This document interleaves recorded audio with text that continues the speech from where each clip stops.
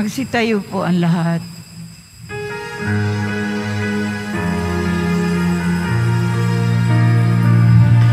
Ako'y kaawaan o mahal kong Diyos Sang-ayon sa iyong kagandang loob Mga sala ko iyong linisin Ayon din sa pag-ibig mo sa akin. Bubuksan aking puso't isipan Pagsalansan ko'y aking kinikilala. Patawarin yaring kasalanan Ako'y kaawaan o mahal kong Diyos Sang-ayon sa iyong kagandahan loob Mga sala ko'y iyong linisin Ayon din sa pag-ibig mo sa akin Sa ngala ng Ama at ng Anak at ng Espiritu Santo, Amen. Ang pagpapala ng ating Panginoong Kristo, ang pag-ibig ng Diyos Ama, at ang pagkaisa ng Espiritu Santo naway sumainyong lahat. At sumaiyo rin. Mga kapatid, nasa Miyerkules tayo na nasa Simana Santa o Miyerkules Santo. Sama po natin sa misa natin ngayon ang mga intensyon para sa araw ngayon. Ang inyong mga intensyon kayong narito sa loob at sa labas ng Basilica Minor ng Itim na Silo ng Quiapo. Ang mga intensyon ng mga nakiisa sa atin sa pamagitan ng live streaming through Facebook Live, YouTube, at iba pang social media dito sa ating bansa at iba't ibang dako ng mundo. Ang mga intensyon ng mga cross-posting ng mga chapels, groups at communities. Sama rin natin sa misa natin ngayon ang ating intensyon para sa kapayapaan ni Father Melvin Castro na namatay po kahapon. At ang ating intensyon para sa kapayapaan sa mundo, lalo higit na sa Ukraine, at sa matagumpay na paglalakbay bilang simbahang sinodal.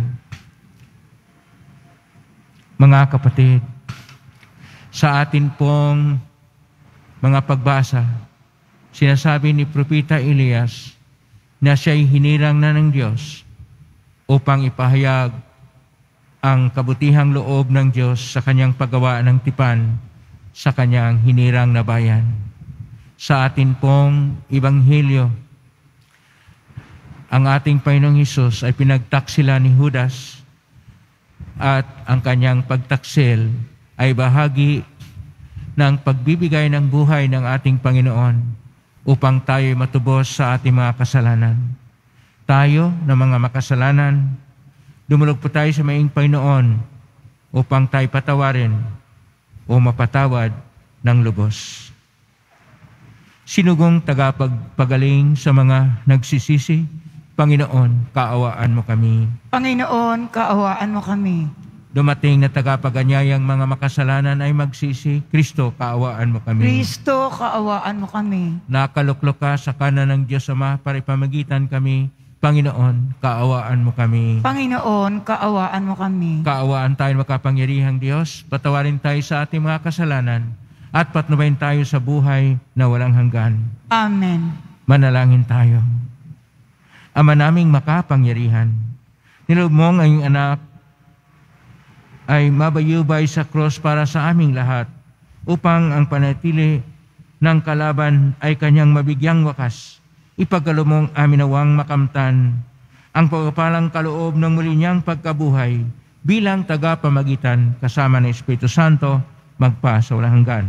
Amen. Magsiupo po ang lahat.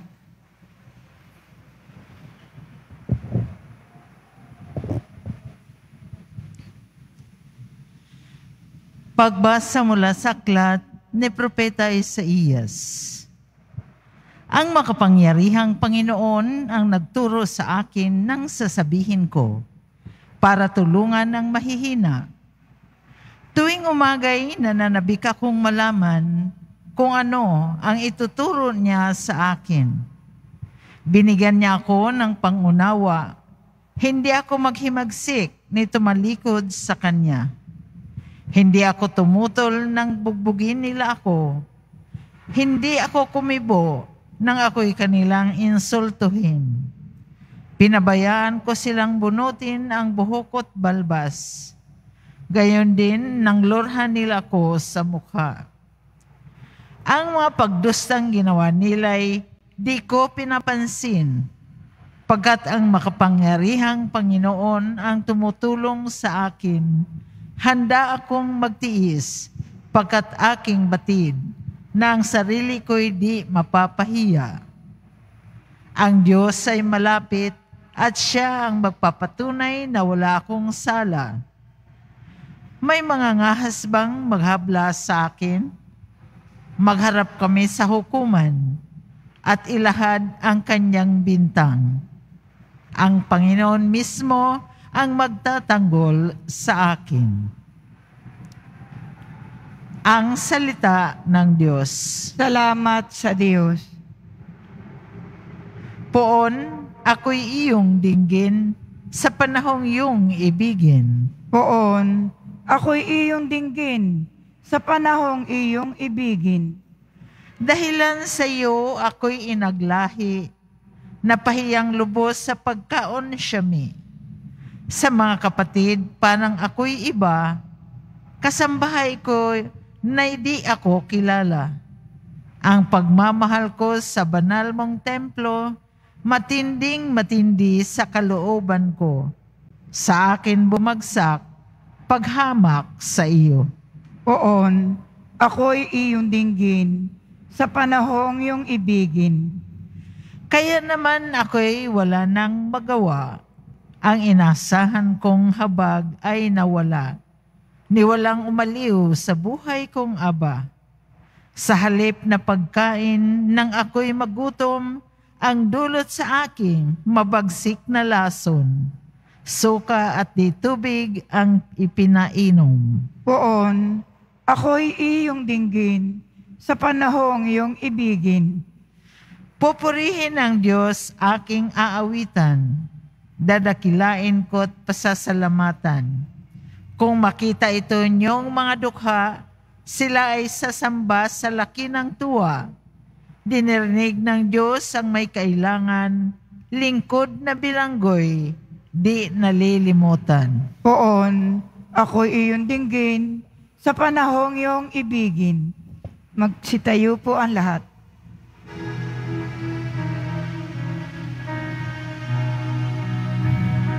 Nagpupuri kami sa'yo, Panginoong Hesu Kristo. Nagpupuri kami sa'yo, Panginoong Hesu Kristo. Nagpupuri kami sa'yo, Hari naming Hesu Kristo, ang pagdamay mo sa tao ay talagang patotoo na kami minamahal mo. Nagpupuri kami sa'yo, Panginoong Hesu Kristo.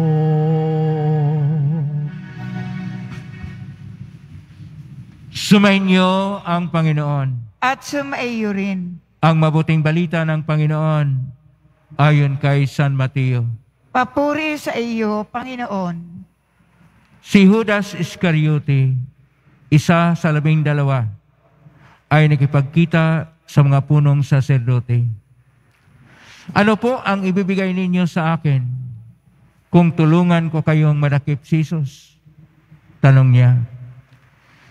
Noon din ay binilangan nila siya ng tatlumpung salaping pilak.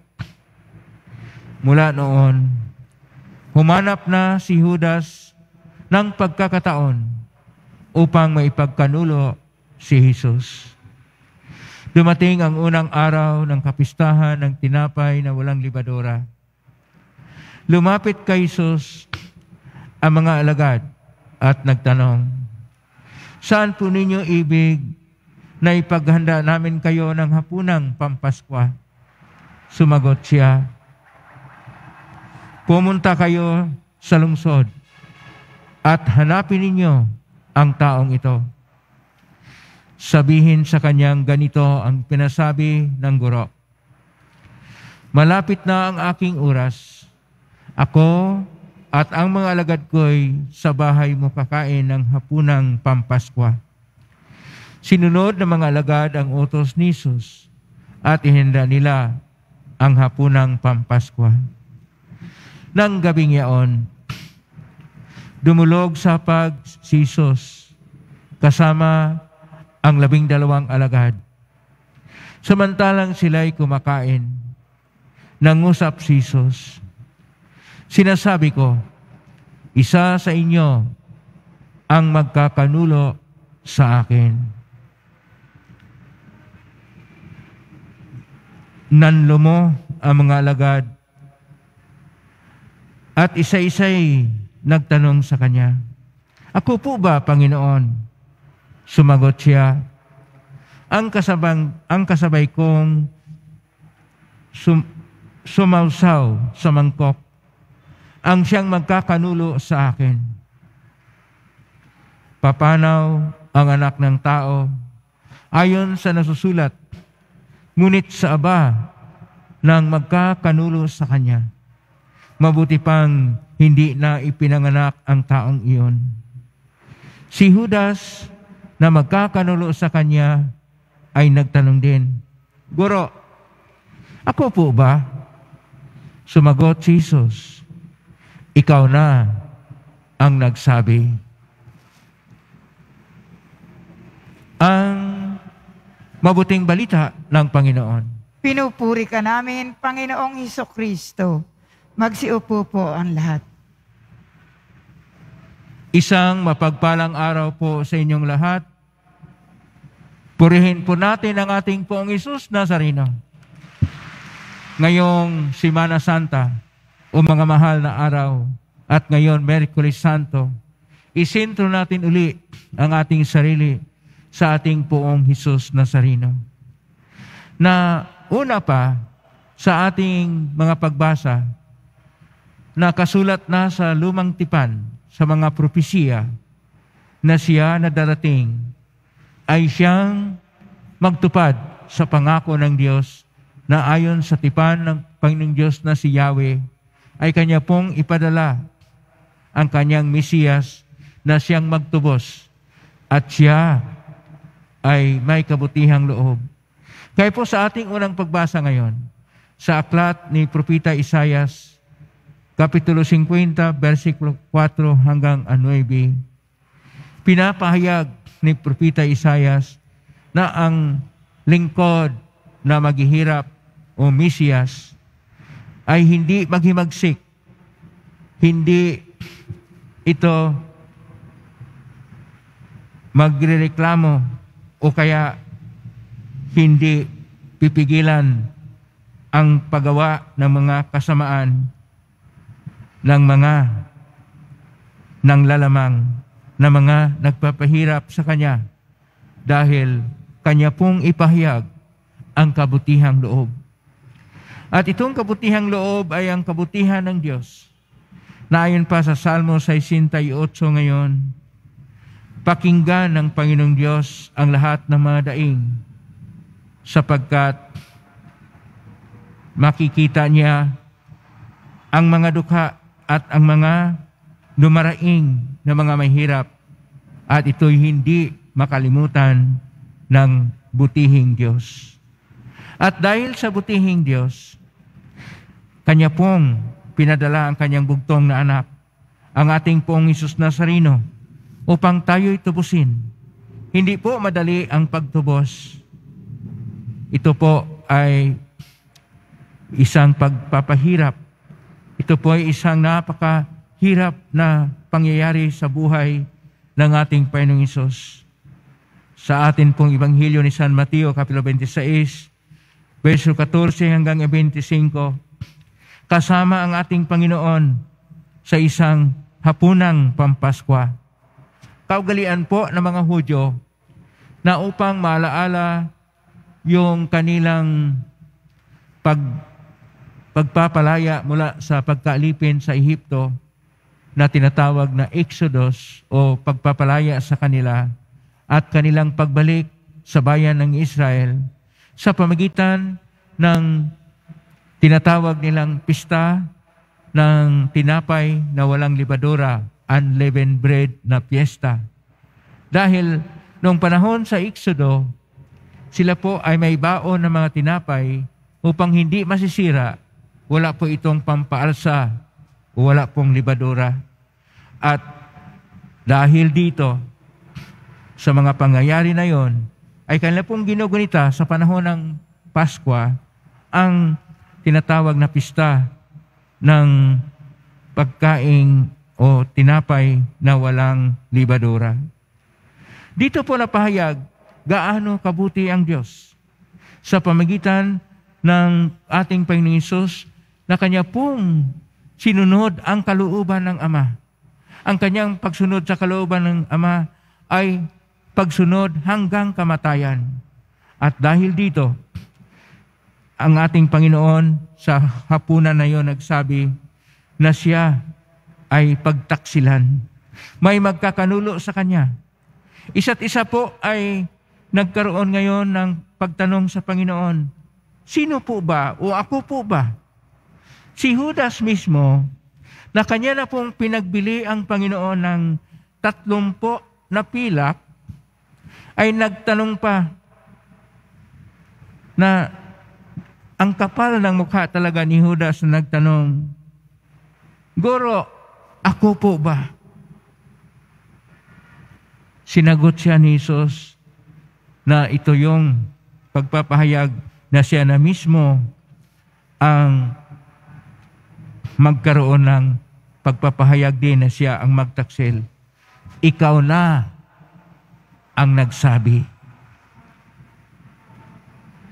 Kung tingnan po natin dito, yung sinasabi ng ating Panginoon na pagtaksilan siya, ang ginagamit po dito na salita ay ang salitang parodosi na ito po ay isa po sa pinakamalalim, matindi na pagtaksel.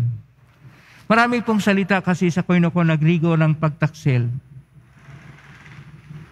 Apokalipso, pagtaksel rin. Pero ginagamit ito ang parodisi sapagkat ito ay matindi na pagtaksel ang ginawa ni Judas.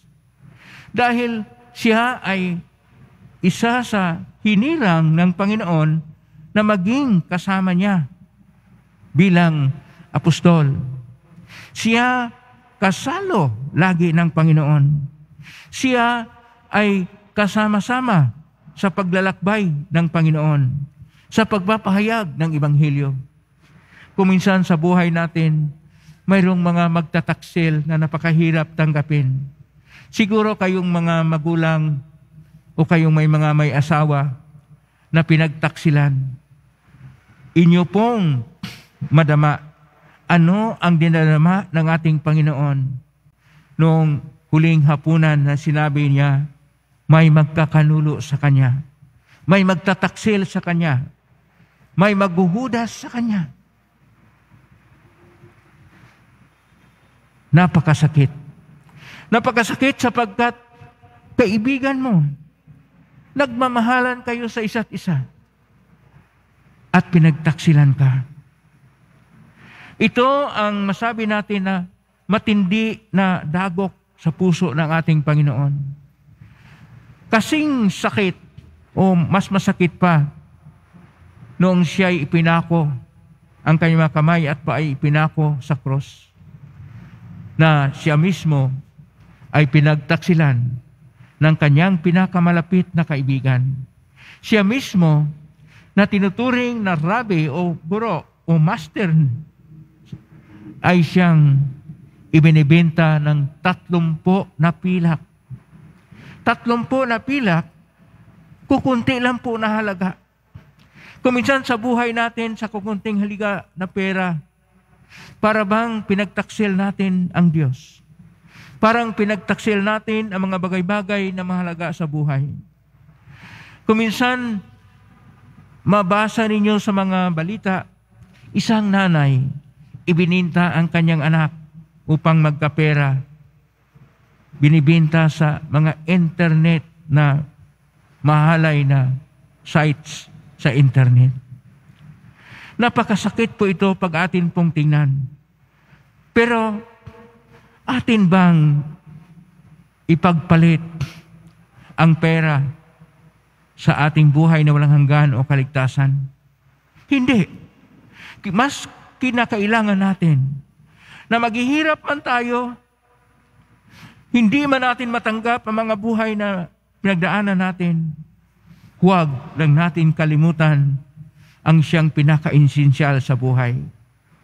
Ang pinaka-esensyal sa buhay, una sa lahat, kahalagahan ng buhay, kalagahan ng pagmamahalan, kalagahan ng mga may tiing importante upang tayo may turing na tao. Hindi lang tao, tao na kawangis at larawan ng Diyos. Mga kapatid ko, huwag tayong masentro sa mga bagay-bagay. Bagkos, iugnay natin ng malaliman ang ating sarili sa ating Diyos na siyang pinaka-esensyal sa buhay. Diyos na siyang magliligtas sa atin. Diyos na siyang may dakilang pag-ibig sa atin. Diyos na siyang tunay na magbibigay kabuluhan ng ating buhay. Diyos na kailanman hindi tayo pababayaan sapagkat mahal na mahal na mahal tayo ng Diyos. Amen? Purihin natin ang Diyos.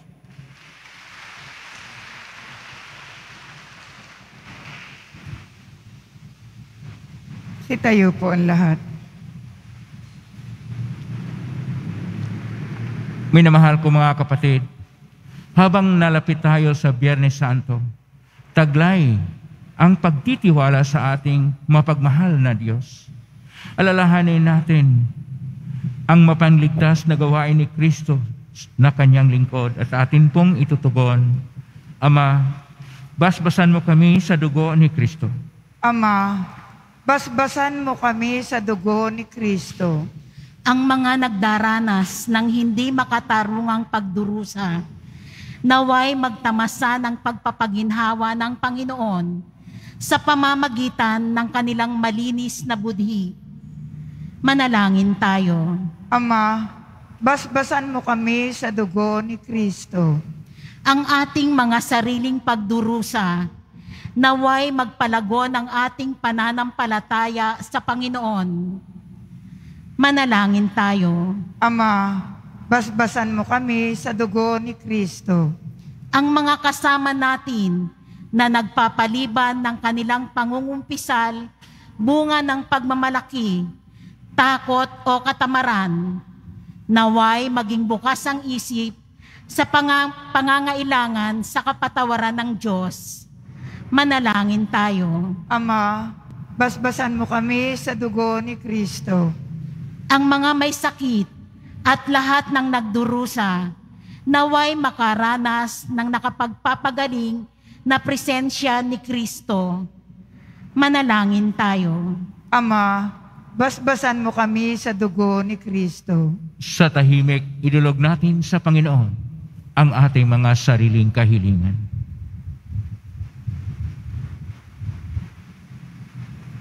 Panginoong Diyos, ibinigay mo sa amin ang halimbawa ng iyong anak upang ipakita sa amin kung paano mam- mambuhay at mamatay. Ling namin ito sa magitan ni Kristo na aming Panginoon. Amen.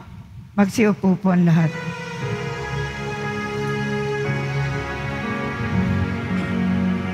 Sa pagsunod sa utos mo nalulugod akong labis di masukat ang galak ko pagkat aking iniibig sa'yo, Ama. Handog ang tinapay at alak na ito handog ng iyong bayang sumasamot humihingi ng patawad mo. Magsitayo po ang lahat. Manalangin kapatid upang paghahain natin ay kalugdan ng Diyos amang makapangyarihan. Tanggapin nawa ng Panginoon itong paghahain sa iyong mga kamay, sa kapurihan niya at karangalan, sa ating kapakinabangan at sa buong sambayanan niyang banal. Ama naming lumikha, tanggapin mo ang aming paghahain at mo ang pagganap namin sa pagsasalukuyan sa pagpakasakit ng anak ay magdulot sa amin ng katapatang wagas. Sa pamagitan niya, kasama ng Espiritu Santo, magpa sa walang hanggan. Amen. Sumainyo ang Panginoon. At sumaiyo rin. Itaas sa Diyos ang inyong puso at diwa. Itinaas na namin sa Panginoon. Pasalamatan natin ang Panginoong ating Diyos. Marapat na siya ay pasalamatan. Ama ng kapangyarihan tunay nga marapat ni kay aming pasalamatan sa ni Kristo na aming Panginoon. Nababanaagan namin ang pagdiriwang sa kanyang pagpakasakit at pagkabuhay. Malupig na ang dating pagsuway sa pag-ako sa kanyang kusang loob na katapatan at magaganap na ang pag-alaala sa aming pag-anib sa iyong tinubos na angkan. Kaya kaysa na mangyal si awit ng papuri sa humpay sa kalangitan, kami nagwawini sa kadakilaan. Santo, Santo, Santo, Panginoong Diyos ng mga hukbo, napupuno ang langit at lupa ng kadakilaan mo, o sana sa kaitaasan. Pinagpala ang naparirito sa ngalan ng Panginoon, o sana sa kaitaasan. Magsiluhod po ang lahat. Ama naming banal, ikaw ang bukal ng tanang kabanalan. Kay sumitan yung Espiritu ng banal ang makalob na ito upang para sa amin maging katawan at dugo ng aming Panginoong Heso Kristo. Bago niya, pinagtiisan ko sang loob na maging handog. Hinawakan niya ang tinapay. Pinasalamatan kanya. Pinagati-hati niya yon inaabot sa kanyang malagad at sinabi, Tanggapin ninyong lahat ito at kanin. Ito ang aking katawan na ihandog para sa inyo.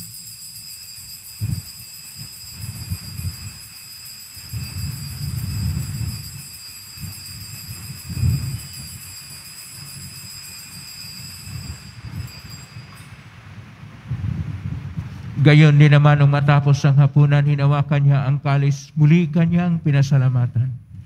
Inabot niya ang kalis sa kanyang mga lagad at sinabi, Tanggapin ninyong lahat ito at inumin. Ito ang kalis ng aking dugo ng bago at hanggang tipan. Ang aking dugo na ibubuhos para sa inyo at para sa lahat sa ikapagpapatawad ng mga kasalanan. Gawin niyo ito sa pag-alala sa akin.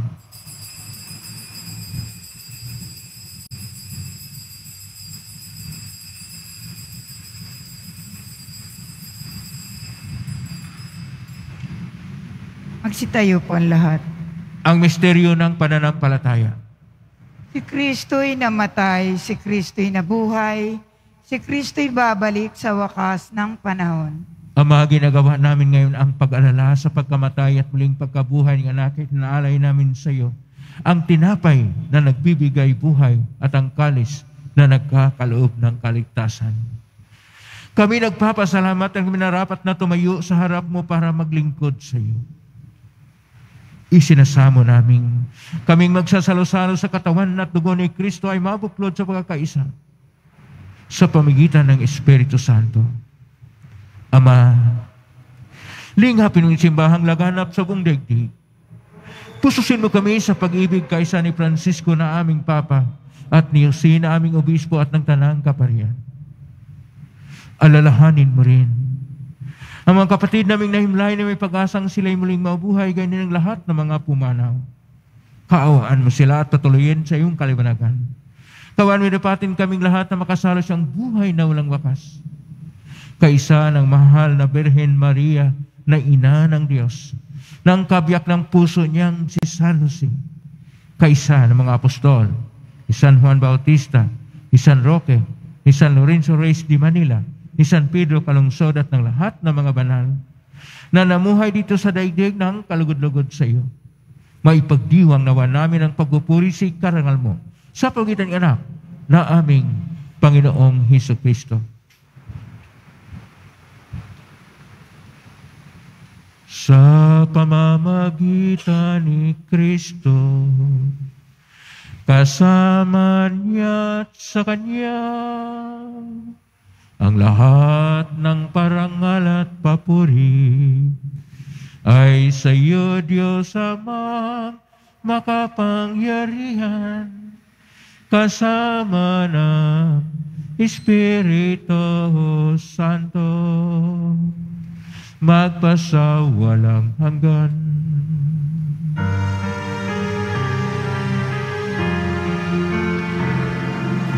Amen.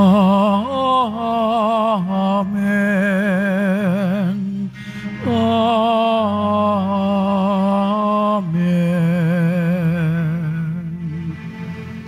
Sa tagubilin ng galing na utos at turo ni Jesus na Panginoon natin at Diyos, ipahayag natin ng lakas loob.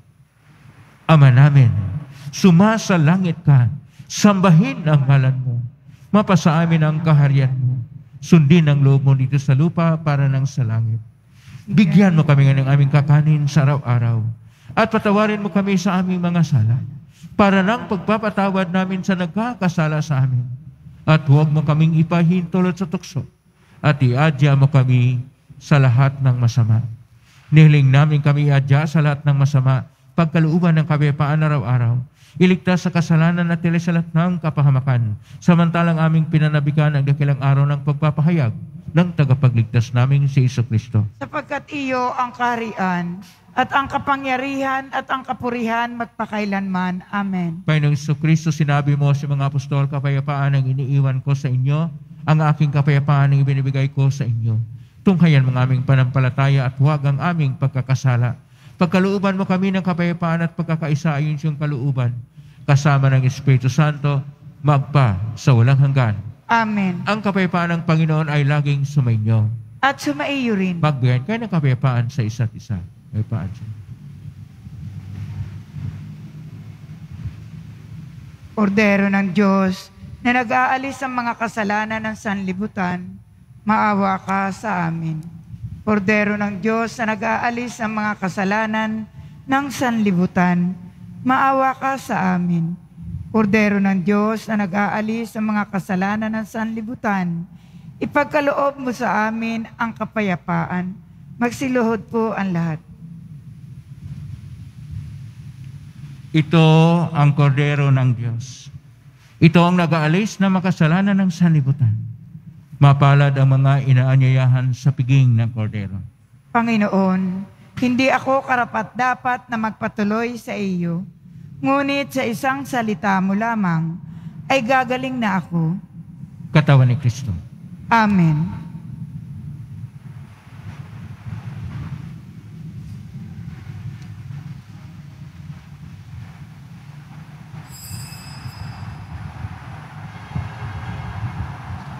Para sa lahat ng tatanggap ng banal na komunyon, ang tamang paraan ng pagtanggap ay kaliwang kamay sa ibabaw ng kanang kamay. At sasagot po tayo ng amen. Pagkasabi ng pari o ng lay minister ng katawan ni Kristo at isubo sa bibig bago umalis sa harapan ng pari o ng lay minister. Sumunod po tayo. Maraming salamat po.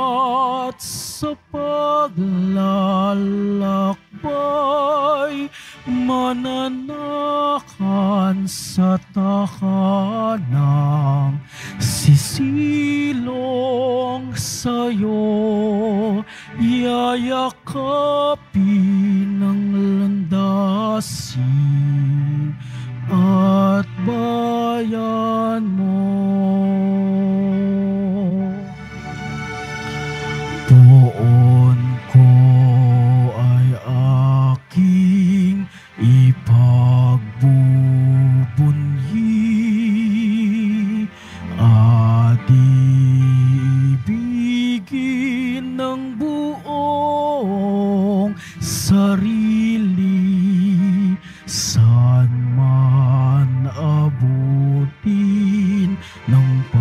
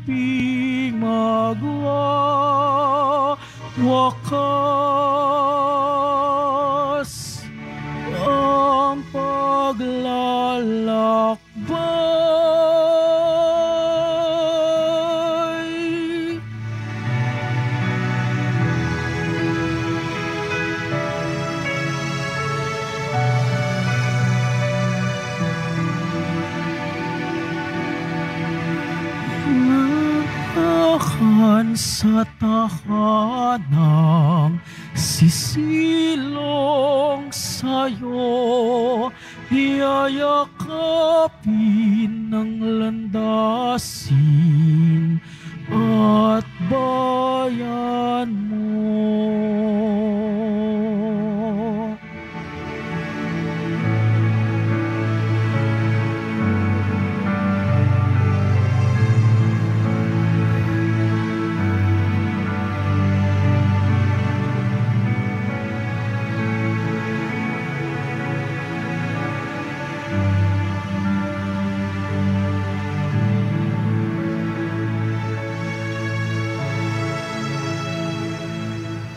Mga paalala sa mga nagsisimba.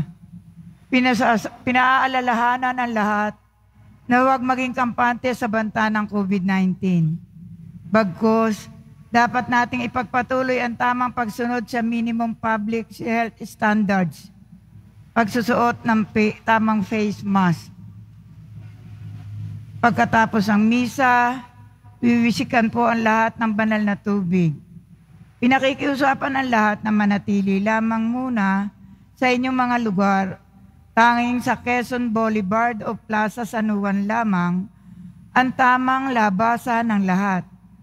Sumunod po tayo. Maraming salamat po sa inyong pagdalaw at pagsisimba sa Basilica Minor ng Itim na Nazareno. Magsitayo po ang lahat. Manalangin tayo. Ama naming mapagmahal, pakundangan sa pagkamatay ng iyong anak, na sa pagdiriwang na ito ay siyang nagaganap. Ipagalob mong kami makapanalig ng wagas sa kaloob mo sa aming buhay na walang wakas. Sa pangitan ni Kristo kasama ng Espiritu Santo, magpa sa walang hanggan. Amen. Maraming salamat po sa inyong pakilahok ngayon sa Eucharistia o Banal na Misa kay na sa loob at sa labas ng nabanan ng itim na Nazareno kami na ugnay sa pangitan ng live streaming sa iba't ibang social media platform at posting sa iba't ibang paraan.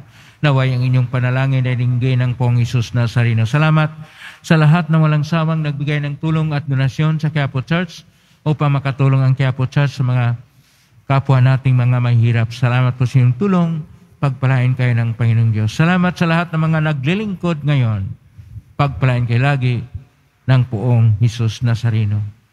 Paalala po sa lahat, nasa time pa po tayo ng ating pagbabantay sa kalusugan. Hindi po pinapayagan pa ang pagkomunyon sa dila. Sa kamay pa po. Dahil mayroon pang virus na nasa ating kapaligiran makaunawa sana kayo na sa emergency pa tayo ng ating kalusugan. Pabaon po sa misa ngayon. Tayo'y iniligtas ng ating Panginoon sa kabila ng ating hindi pagsunod ng kanyang kalooban, pagtatwa sa kanya o pagtaksil sa kanya, sapagkat ang pag-ibig ng Diyos ay dakila. Ngayon na po ang pagbasbas. Nangyari po lamang itaas bagya ang mga bagay-bagay na pabasbasan. Sumainyo ang Panginoon. At sumaiyo rin. Mahal na pong Isus Nazareno. Inagbasan ng cross ang walang maloy na pag-ibig ng Diyos sa sangkatauhan. Pakinggan naman kayo ngayong kanan nagsusumamo sa iyo. Makamta nawa nila ang iyong katugunan at tanggapin ang kasagutan ng itang na loob na tinatanaw. Basbasan di po ninyo ang mga lamang imahin, dasalan at mga bagay-bagay sa pamagitan ng benisyon na ito, naway maalala ng pangako nun sa binyag na ikaw ay kiniibigin at paglilingkuran bilang Panginoon magpa sa walang hanggan. Amen. Pagpalain kayo ng makapangyarihang Diyos, Ama at Anak at Espiritu Santo. Amen. Humayo kayong taglay ang kapayapaan, pag-ibig at pag-asa ng Pong Isus Nazareno. Salamat sa Diyos. Purihin natin ang Pong Isus Nazareno.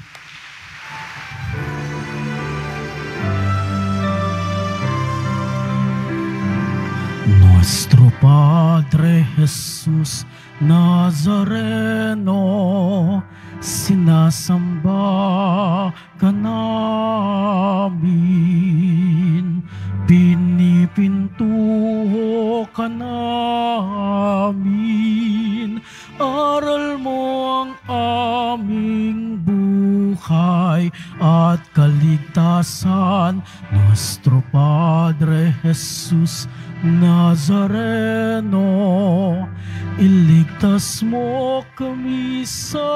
kasalanan. Ang krus mong kinamatayan ay sagisag ng aming kaligtasan. Nuestro Padre Jesus Nazareno, dinarangal ka namin. Nuestro Padre Jesus Nazareno, niluluwalhati ka namin. Nuestro Padre Jesus Nazareno, dinarangal ka namin. Nuestro Padre Jesus Nazareno, Nazareno, nilulualhati ka namin.